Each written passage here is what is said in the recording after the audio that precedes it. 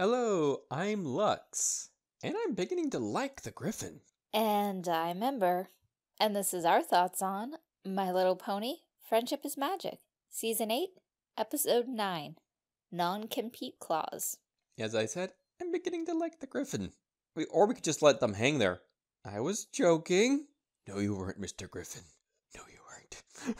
Then, uh, hello, Season 1. I'd like you to introduce you to Season 8. Of Fall Weather Friends, I believe you might know Non Compete Clause. just a little. Because of that, this episode was very meh to me. You guys have had eight seasons. Even though you're competitive by nature, you couldn't set it aside in the name of friendship. Y- you would think. The best parts of this episode had to deal with the students.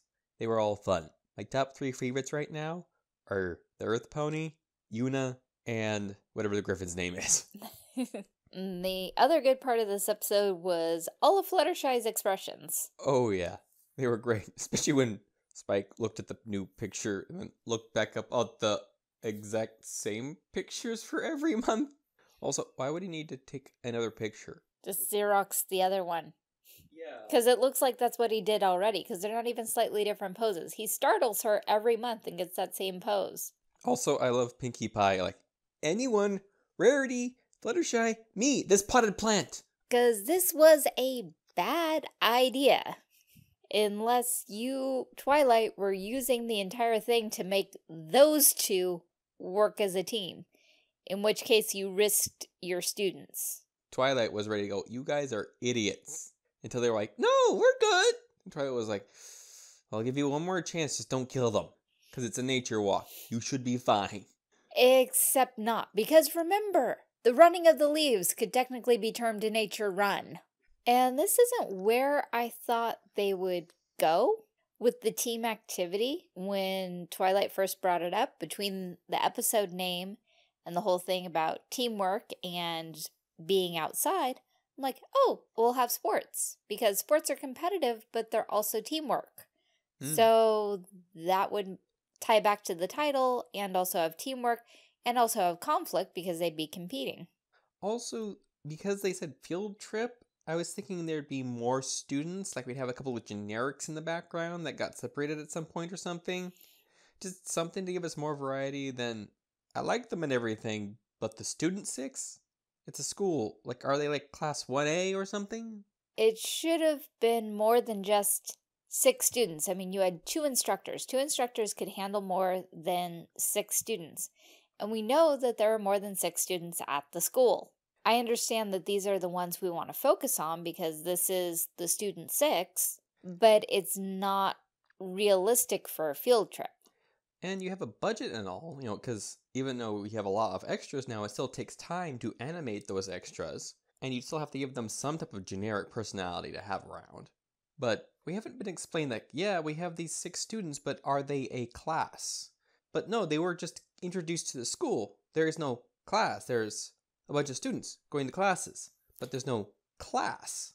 Because if we go and look back at the premiere, we probably saw most of these students shown in all the same classes because they were the focus. But are they on the same schedule? Kind of like schoolhouses and stuff like that in Harry Potter. That was a good excuse to only have a certain set of students that we follow around all the time. But we didn't get that with these students. They're not labeled as a class of students. So I was like, we should have more since this is a field trip. And the class sizes should be larger than six. It's usually, at least when I was young, class sizes anywhere for were anywhere from 15 to 20 students. And they can even be higher than that, but you would think it would be more than six. And just Applejack and Rainbow Dash, like I started like face hoofing right at the beginning of the episode. I was like, ooh, ooh, this isn't ooh. And I can understand why they like Fluttershy because two varieties of reasons. If Fluttershy is still using her assertiveness, she's probably doing it in a very polite and kind way, so students like her because she's kind. Or if she's not using her assertiveness, students get away with a lot of stuff in her class. That's the entire thing is this is student voted. The students are going to pick whatever teacher they enjoy the most, not necessarily which teacher they're learning the most from. Because why vote for a teacher that challenges you when you can vote for one that's teaching a bird class. In other words, you fly right through it. Exactly. I learned that from Sister Act 2. I knew it before then, but okay. I very rarely learn terms like that. I, I learned about it because of Sister Act 2. Fun movie. I enjoyed it just as much as the first, though I'm a person who also enjoyed Final Fantasy The Spirits Within. And there goes our subscription count. I, I said I enjoyed it, not that I think it's a good movie. it's got issues. Uh, I, I can enjoy a lot of stuff that's really bad. If they ever reboot uh, Mystery Science 3000 again, yes, I know there's a reboot. You don't have to jump on me. I'm saying if they do it again, then you just get Lux. The problem is, I wouldn't have any wisecracks. I'd just sit and enjoy the movie. I don't have wisecracks until later. Uh, though I did have a couple of things I was saying as we were watching this that was like, what, what, what, huh? And then I was like, one moment, what did they? And just how incredibly ineffective Rainbow Dash and Applejack are for the entirety of this episode. Yona was drowning. You guys didn't even move. You can both swim. You didn't even move.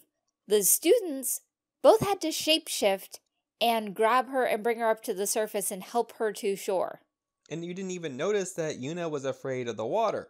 Ask her what the reason was. Apparently it's she's never learned how to swim, which makes sense in the climate she grew up in. As in climate, not as in social climate, but as in the actual climate.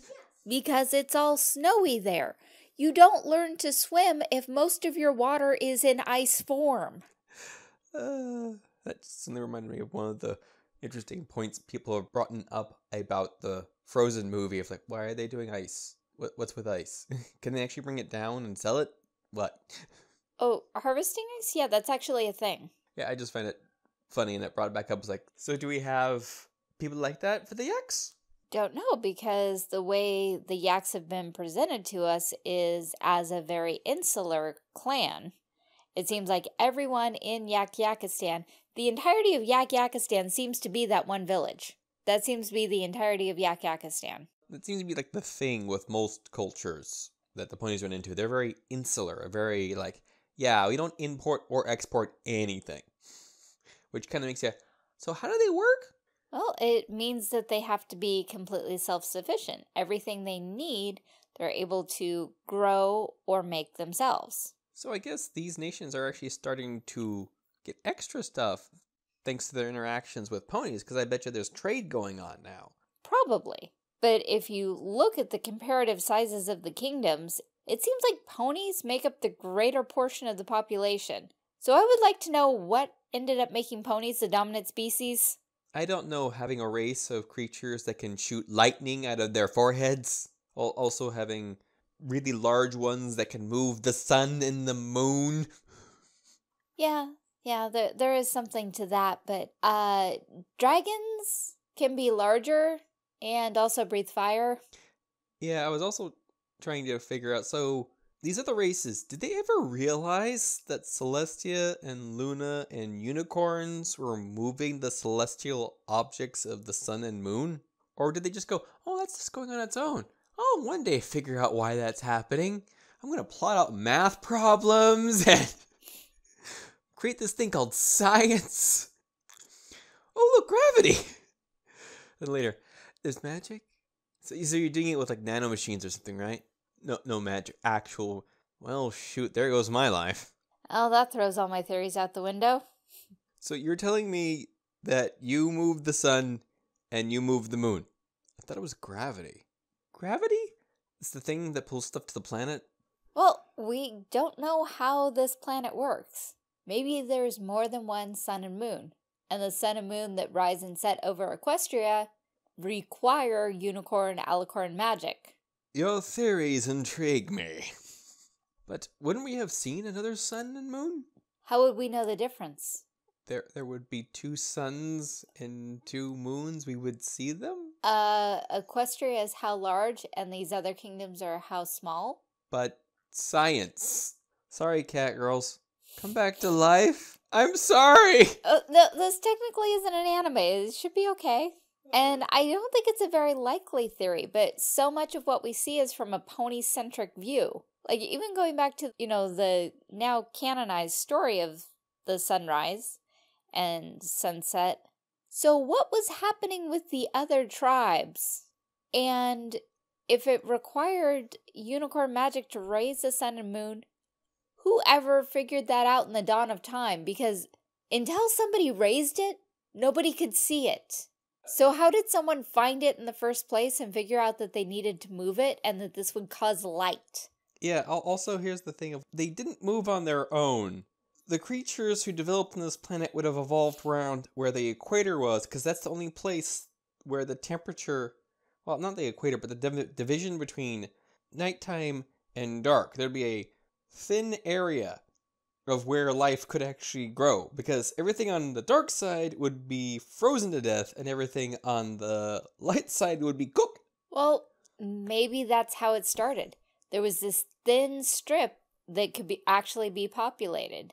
And as the population grew, they needed to expand. But they couldn't go one way because it was too hot, and they couldn't go the other way because it was too cold. So they moved the object that was causing the problem. Once again, I enjoy your theories, but I think we're getting off topic here. Severely, mainly because the episode was meh. Yeah, and it made us think of these other things like, so, pony culture, and how did the sun, and, hmm. Because basically the students were showing teamwork the entire time. I wonder if they were just being nice at the end, because they made a big leap. Of logic that you think the teachers actually did this on purpose. Though I do like the fact that both Applejack and Rainbow Dash went, yeah, we were just competing the entire time. I appreciate that they admitted it. Because it makes it less like that episode where Rarity got off scot free. Still have issues with that. I'm still waiting for her to get payback for that episode.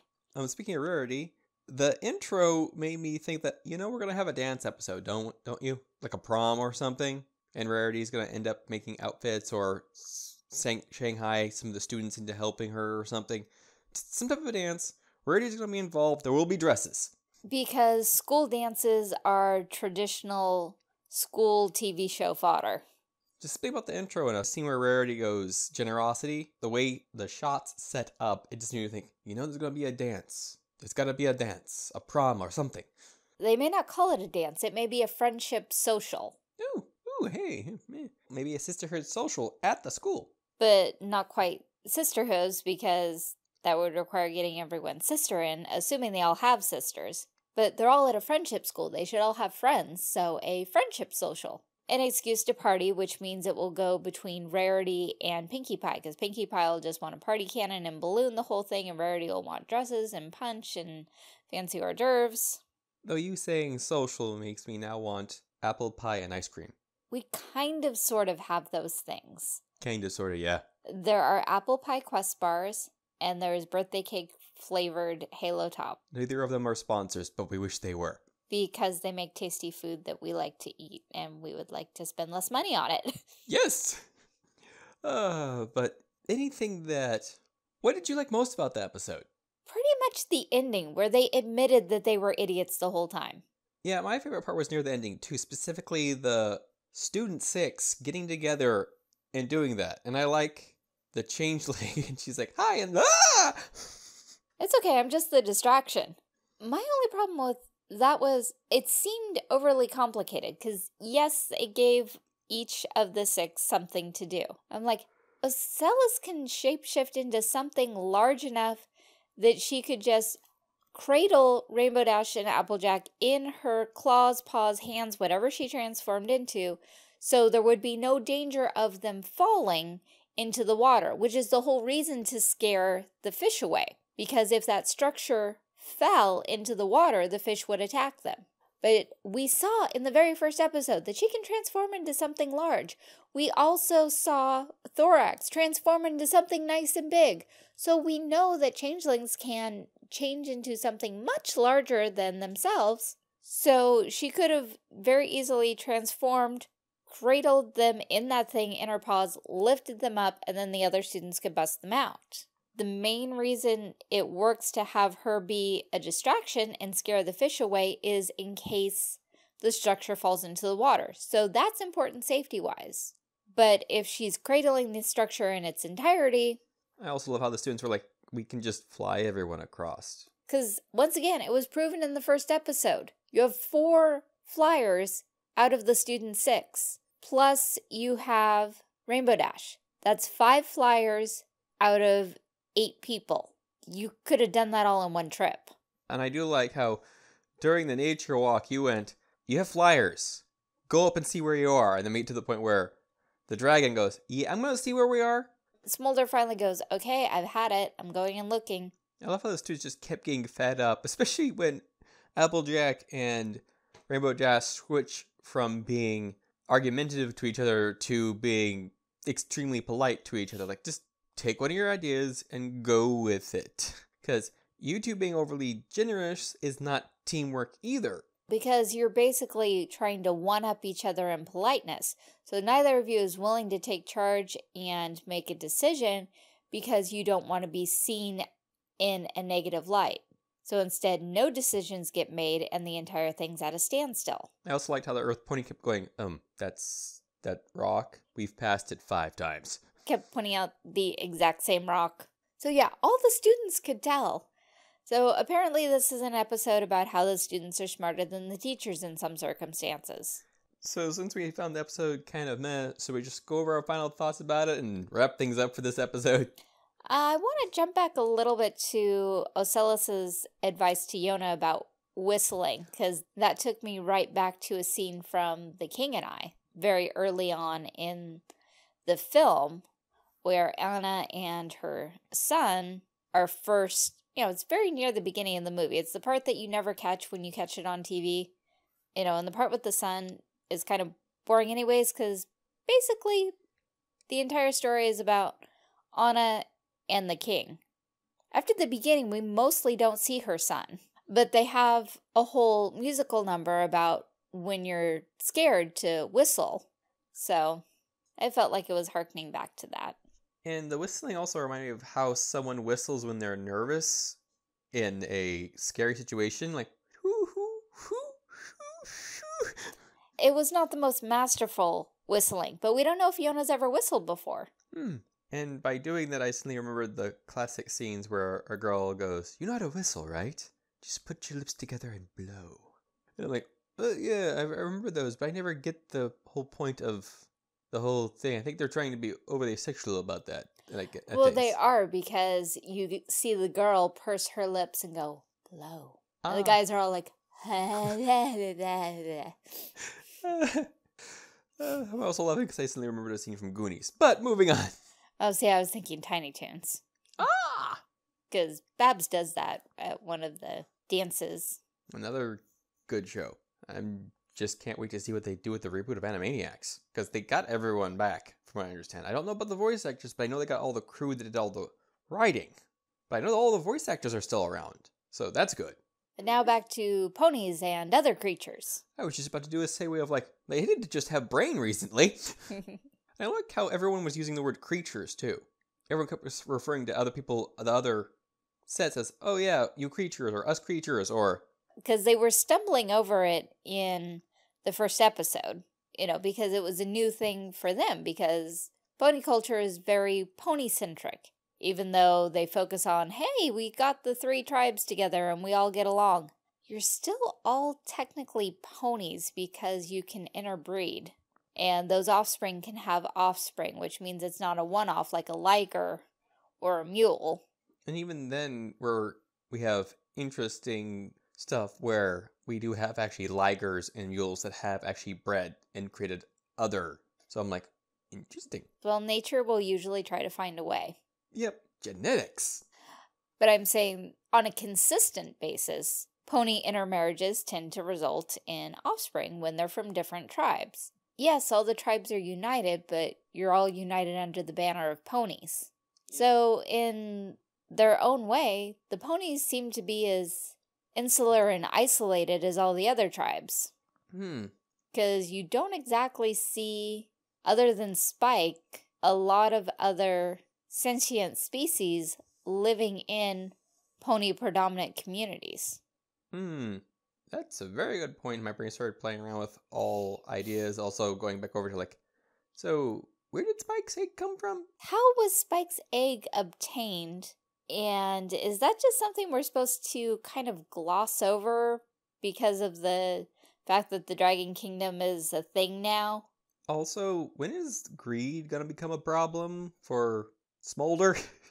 because she's from a culture where she was raised as a dragon. So, do they do things to control the greed too? Or. Because there's some pretty large dragons over there. Then are they large because of the greed? And.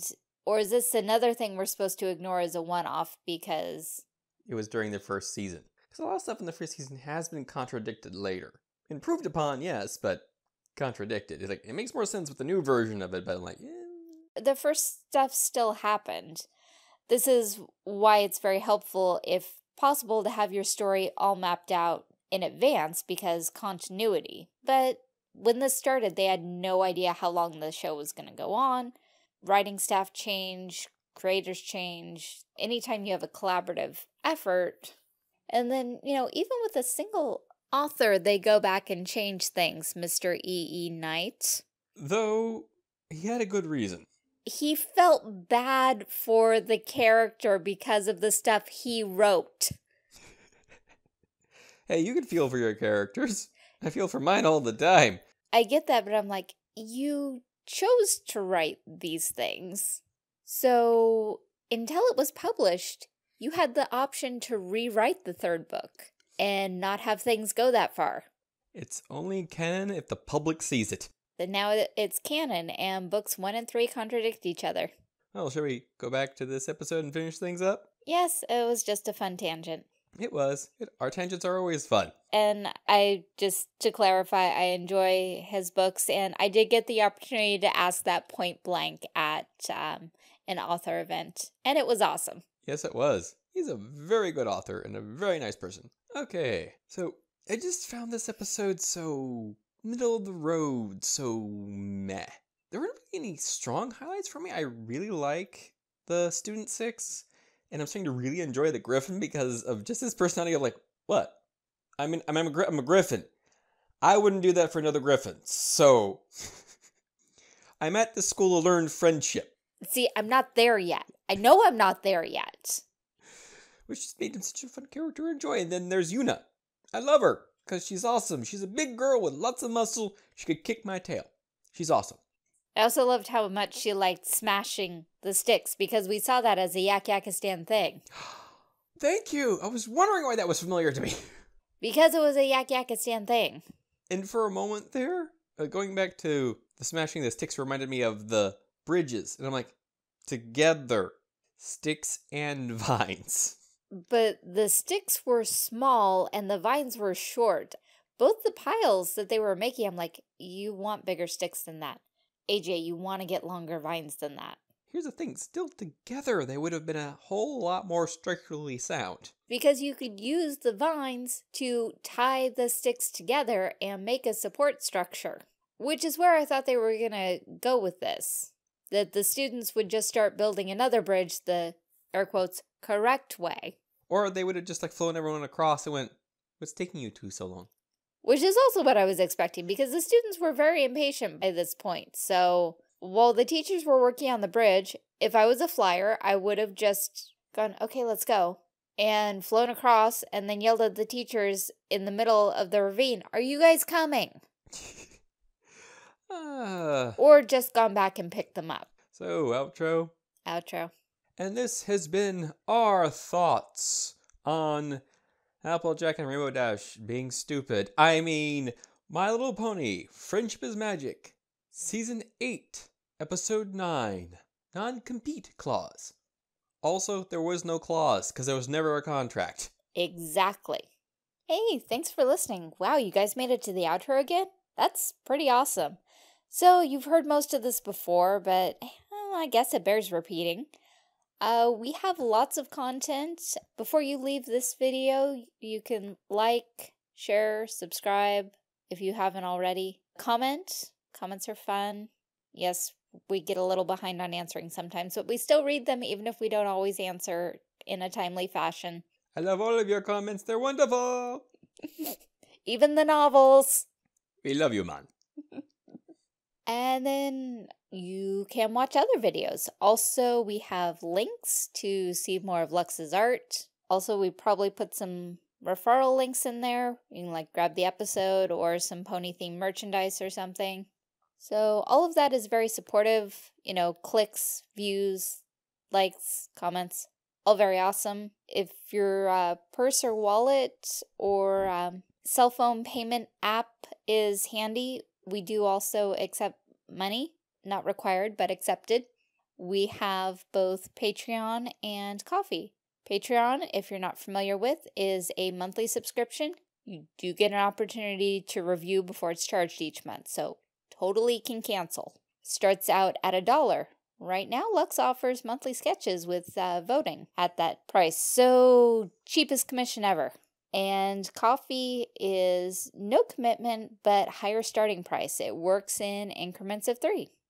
Thank you so much for watching and listening. We appreciate all of the support that we receive in the form of views, likes, comments, dialogues, suggestions, and of course financially as well. But all of it is truly appreciated. Thank you to all of our supporters, subscribers, etc., in whatever form you choose to grace us with your presence.